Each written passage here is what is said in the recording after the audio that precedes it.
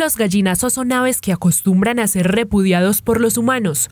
Muchos suelen tirarles piedras o herirlos cuando los ven cerca, pero en realidad este tipo de actitudes generan un gran daño al planeta, ya que estos animales cumplen una función muy importante. Bueno, su nombre científico es Coragis atratus, ¿sí?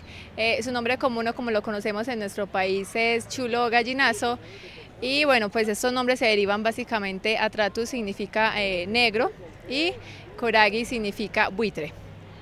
Es una especie medianamente pequeña con, alas eh, medianas, cuerpo pequeño y cabeza eh, arrugada.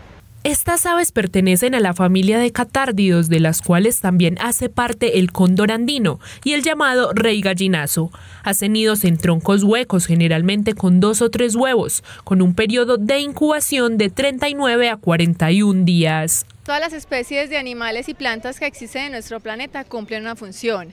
¿Qué sería la vida de nosotros si no tuviéramos los gallinazos que limpian el ecosistema? Donde hay basura, ahí van a estar ellos. Entonces, uno, pues no matarlos. Dos, tratar de que nuestros residuos los dispongamos de la mejor manera.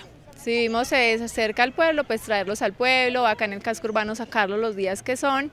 Y si ya estamos en zonas de veredas, pues enterrar nuestros residuos para que ellos no lleguen a limpiar. Entonces no hagamos, digamos que no dejemos esa sociedad para que ellos no tengan que llegar a nuestras eh, viviendas o cerca a nuestros hogares.